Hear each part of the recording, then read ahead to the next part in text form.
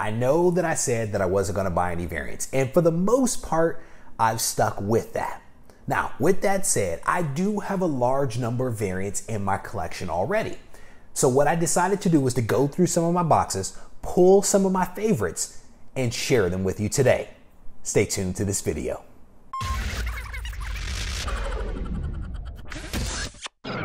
Regie here, your friendly neighborhood bodybuilder and comic book collector, and I want to welcome you to another one of my videos. This video is all about the variants, specifically the variants that I own in my personal collection, and, and truly some of my favorite variants that are part of my personal collection.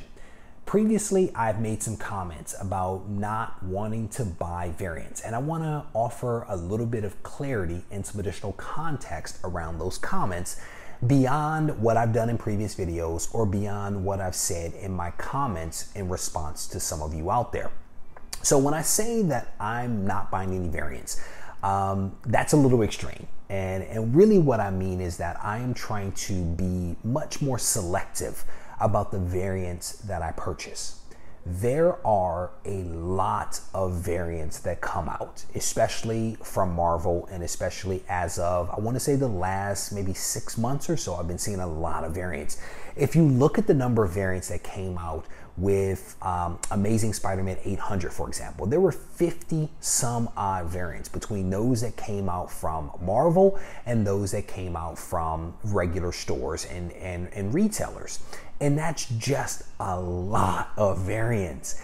And I don't believe that, you know, variants are going to lead to the downfall of the industry.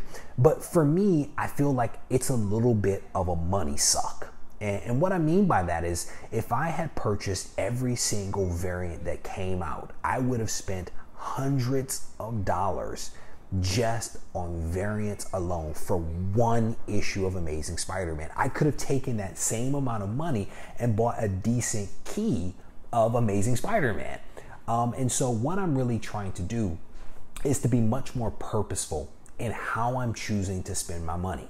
Now, that doesn't mean that I won't buy another variant, it simply means that I'm trying to be a little bit more selective. So, common variants, I may not buy those some of the more exclusive variants where there's a limited number of them that are being produced those are the type of variants that I will probably continue to buy. But even when you talk about those, I'm going to be a little selective in what I choose to spend my money on. Again, my goal is to get a lot of these amazing keys that exist, like um, Amazing Spider Man number one, um, Fantastic Four number one. I mean, I'd love to own Amazing Fantasy, right? 15. And, and if I continue to buy the variants that come out every single week for Marvel, it's going to limit my ability to actually purchase some of these amazing keys that many of us would probably want in our collection. So I hope that this provides a little bit of context around some of you know the things that I said before.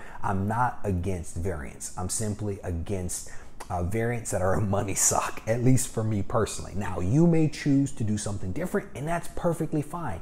That's the wonderful thing about this hobby is that we all decide what we want to do and how we want to collect and how we want to spend our money. Again, I just wanted to provide a little bit of context around my own comments.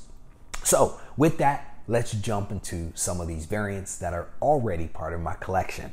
First up, X Men number one, specifically X Men Red number one. This is a wonderful variant that I saw and I just had to have a copy of this. I actually picked up two copies of this because I, I just thought it was a wonderful cover. Um, this again is, is uh, X Men number one, X Men Red number one. This is a variant um, featuring Wolverine, and it's just a wonderful, wonderful cover. Next up, sticking with this theme of, I guess, women off of the, the very first one, is one that I picked up recently, uh, probably, well, maybe two months ago from J. Scott Campbell. Speaking of variants, speaking of someone that releases a lot of variants, J. Scott Campbell released um, a series. Um, I think I picked up four copies of it. It was like A through A, B, C, D, I think is what it, how he numbered them, if you will um, and they were all signed. They all came with you know certificates of authenticity.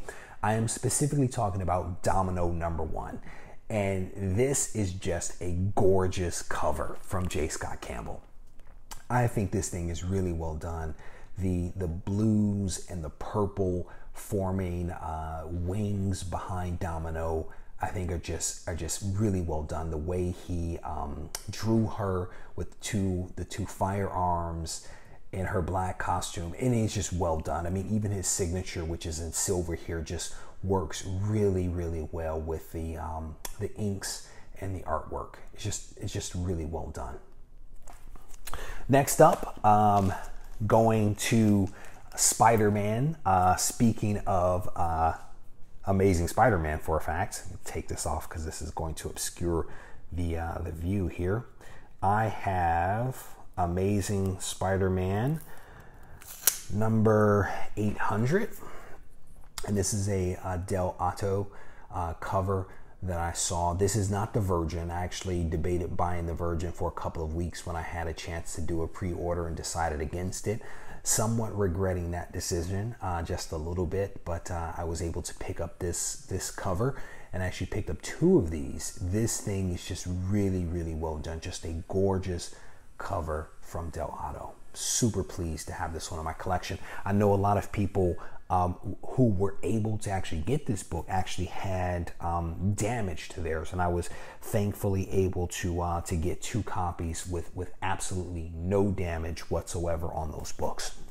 So definitely pleased about that. Going to continue on with uh, Spider-Man for just a moment. This is a book that I recently showed in one of my videos, Amazing Spider-Man 799. This is a 9.8 white pages featuring the Green Goblin holding Spider Man's mask. And this is just a gorgeous piece of artwork that as soon as I saw this thing, I just had to have this one.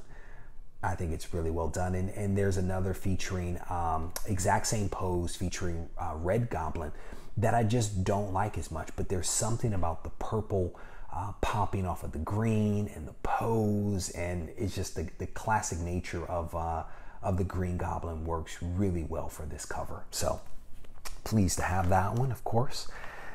And next up, should have kind of done this one earlier when I was on the theme of women, that is, is uh, Ms. Marvel number one. This is when uh, Kamala Khan actually becomes Ms. Marvel. And uh, I have a, a, number of these uh, sketches where it is like draft paper and it's almost like the artist is trying out different looks for the the character. And it's uh he, he's showing her uniform. He's showing uh different hairstyles. He's depicting how tall she is and illustrating secret compartments. And i mean it's just it's just really cool. I don't know if you guys have seen these but these things are really cool.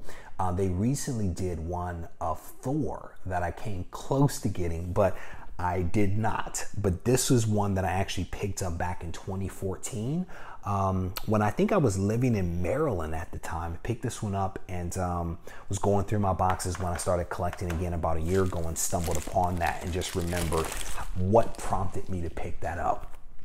So this last book is one that I've also shown recently. It is a, a homage cover to uh, Hulk uh, 181. It is Weapon H number one and it is again just a really nice cover. There is a virgin version of this that I attempted to uh, pre-order. I was about five minutes late, and um, the inventory actually was depleted by the time I was able to order. I thankfully, however, was able to snag this copy before uh, this inventory too was depleted.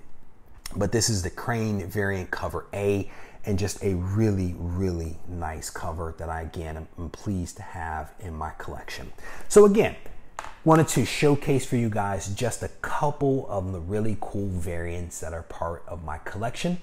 As always, I want to thank you guys for taking the time to watch these videos. Thank you in advance for uh, following me and also for any comments that you may be making.